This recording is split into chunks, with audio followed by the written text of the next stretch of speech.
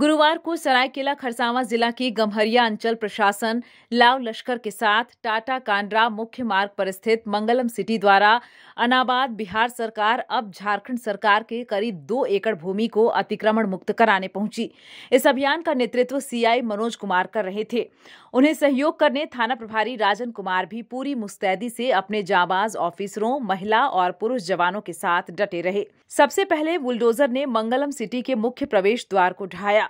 उसके बाद दाएँ तरफ़ के बाउंड्री वॉल को ढहाने के बाद जैसे ही बाईं ओर का रुख किया, सोसाइटी वासियों का विरोध शुरू हो गया। विरोध को देखते हुए तत्काल अभियान को रोक दिया गया। बता दें कि इस अभियान के तहत कुल दो एकड़, तीन डिसमिल भूभाग को अतिक्रमण मुक्त कराना था। मगर महज डेढ़ एकड़ ज़मीन को ही अतिक्रमण मुक्त कराया गया।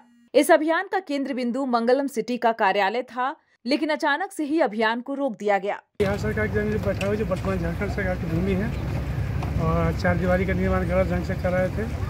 लोग पदाधिकारी का आदेश का अवलोकन में ये सब कार्रवाई आज की गई कमेटी एक एकड़ होगा। बाकी रह गया लोगों का विरोध के चलते नहीं लिए गए फिर उनका ऑफ़िस ही सरकारी अवैध रूप से है। न्यूज़ विंग के लिए सरायकेला से गंगाधर पांडे की report. Tufcon XT 600 HCR TMT Rewa. पहले भी बोला था, अगर घर को बनाना है एक्स्ट्रा टफ तो आप भी दिखा सकते अपनी हीरोपंती, टफकॉन एक्सटी के साथ।